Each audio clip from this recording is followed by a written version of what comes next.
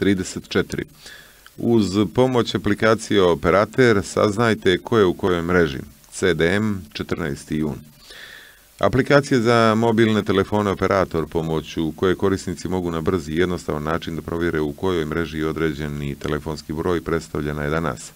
Aplikaciju operator razvilo je preduzeće Restart IT u suradnji sa Agencijom za elektronske komunikacije i poštansku djelatnost. Aplikaciju su predstavili izvršni direktor Agencije za elektronske komunikacije i poštansku djelatnost Zoran Sekulić i izvršni direktor Restart IT Miodrag Nikač. Da bi se pospješila konkurencija i zaštita prava i interesa korisnika elektronskih komunikacionih usluga, Agencija za elektronske komunikacije i poštansku djelatnost i operatorima javnih telefonskih usluga naložila da uvedu uslugu prenosa telefonskih brojeva koju su oni počeli da pruži 1. decembra 2011. godine. Prenosivost telefonskog broja usluga koja omogućava svakom preplatniku da zadrži postojeći telefonski broj pri promjeni operatora. Broj se može prenositi iz fiksne u fiksnu mrežu, odnosno iz mobilne u mobilnu mrežu. Do sada je preko 22.000 preplatnika iskoristilo ovu mogućnost.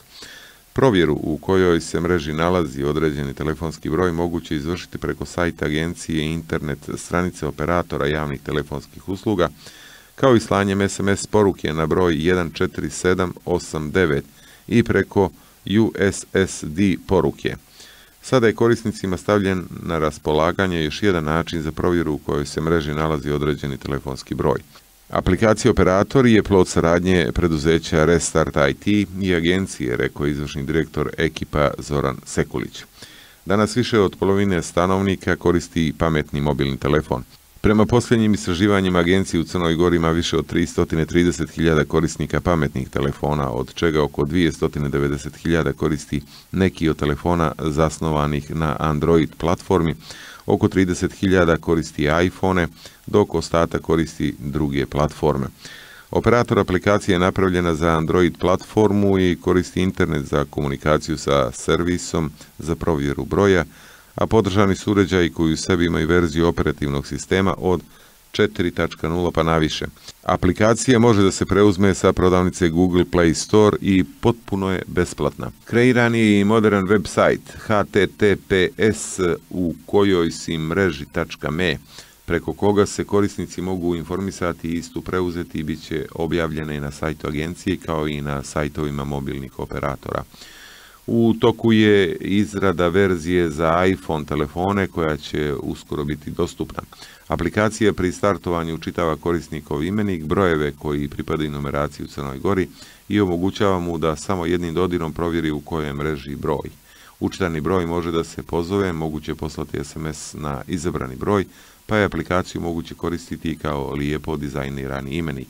Vjerujem da je operator aplikacije veoma značajna za crnogorske korisnike pametnih mobilnih telefona, jer će na taj način steći precizniju sliku o tome koju mrežu pozivaju i tako imati bolji uvid u svoju potrošnju, izjavio izvršni direktor Restart IT-a Miodrag Nikač.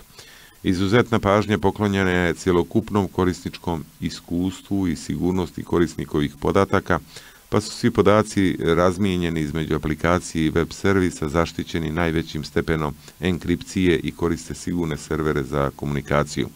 Web servis je razvijen na najpopularnijoj cloud platformi i predstavlja najmodernije tehnološko rješenje jer koristi posljednje definisane tehnike i ima dva nivoa keširanja podataka, bazu visokih performansi i smještajne jedinice unutar RAM memorije Redis, pa se u tom slučaju zahtjev za provjeru odradi za svega nekoliko milisekundi.